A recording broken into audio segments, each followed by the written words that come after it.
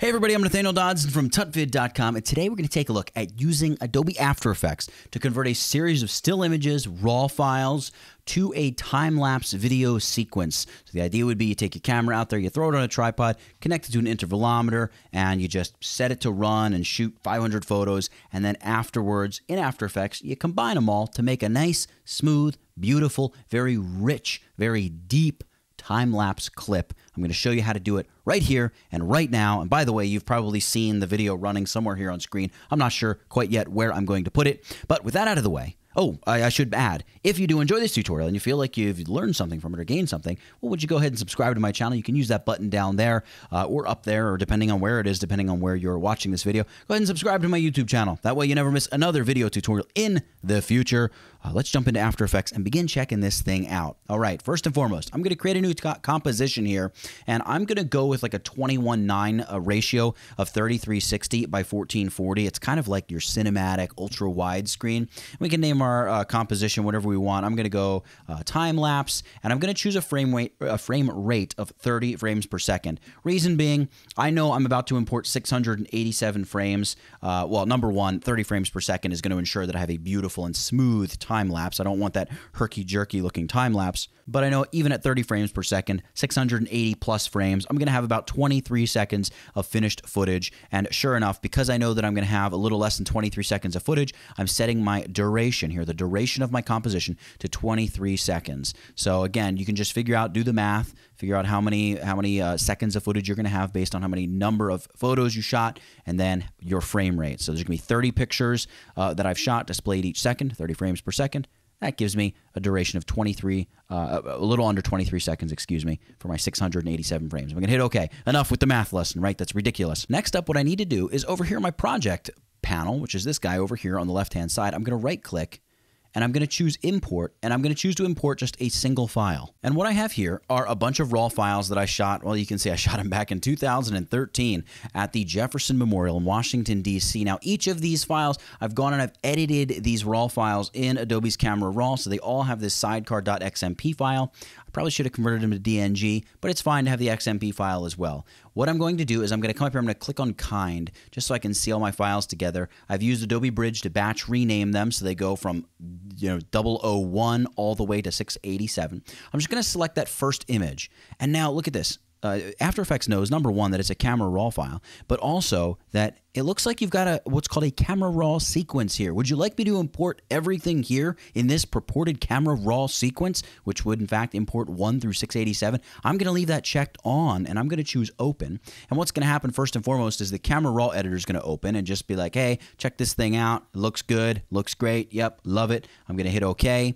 And you can see here, I now have this sequence 001-687.cr2. Uh, CR2. And I can see it's 14.8 gigabytes in size and it is 30 frames per second. Now, what you ask, what if I, I want my frame rate to be 60 or 24 or something like that? Well, you can right click on that sequence. You can choose this interpret footage, select main, and down here you have this frame rate option where After Effects says, hey, I'm going to assume this frame rate is in this case, it's going to assume that it's 30 frames per second, which works beautifully for us. But you could go 24, you could go 60, you could go 120 if you want. I'm just going to hit the escape key because 30 works for me. Here's what I'm going to do. I'm going to drag it out and drop it down here in my layers panel. Or really not layers panel, it's really my timeline. I'm going to drag it and drop it down there and you can see there it is. And it's going to show up here out in sort of my preview area once After Effects begins to render this frame. Now, these are raw files shot through at the time would have been a, a Canon 5D Mark II. So they're they're just they're huge. And remember, this is a 3360 by 1440 document. Uh, so first thing I'm going to do is I'm going to hit the letter S. I'm going to select that sequence and hit the letter S. That brings up my scaling. And I'm going to scale this down to basically what's going to be a little bit larger than the composition. Let's try like 60%. 60% is a little bit too small. Let's go maybe 62%, something like that. Uh, you know what? I'm to I'm to go I'm to go 60% because here's what we're going to do. Let me just deselect that. I'm to make sure that my edges are, are looking good. They aren't messed up. In fact, I'm going to back out just a little bit. It looks like the edges, ah, just to be safe, we're going to go 61 just to make sure we have a little bit of overlap. All right, I like that. I'm going to back this back out to about 25%. You know what? I can bring it into 33% at this point. And you have your composition at this point, but just to add a little bit more sizzle to this tutorial, let's add a little bit of cinematic movement to our time lapse. We're going to have it look like the camera is just slowly and beautifully pushing in over the course of 23 seconds to the Jefferson Memorial. So how are we going to do that? Well, here with this scaling, all we have to do is hit the little stopwatch to toggle the animation. You can see it's dropped a keyframe.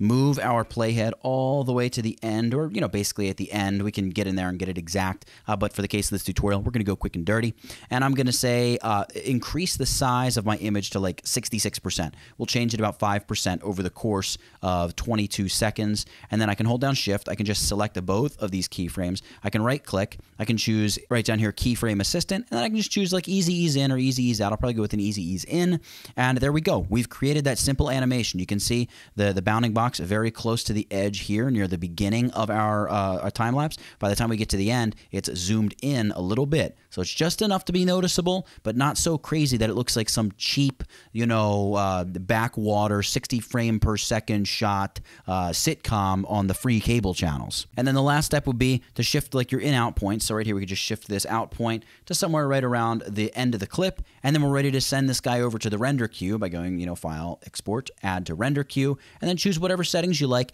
output it. And I've already output this to this folder called laps. You can see there's jeffersonmemorial.mov. I'm going to double click on it. I can open it up and you can see I just have this nice very subtle, simple, beautifully smooth, and perfect time lapse animation of the Jefferson Memorial as night is beginning to fall in our nation's capital. So, guys, for creating a quick and easy time lapse sequence from just a series of photos you shot, this is how you do it in Adobe After Effects. I hope you've enjoyed it. Again, make sure you subscribe to my channel if you've enjoyed it. I would really appreciate that quite a bit. So, for creating a uh, time lapse sequence using nothing but raw files and the raw, unrestrained, unadulterated power of Adobe After Effects, guys, that's it.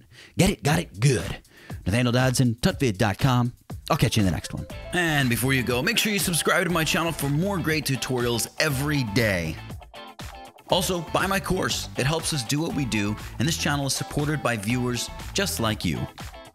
You can also just click the thumbnail and watch another video from this channel. See you next time, guys.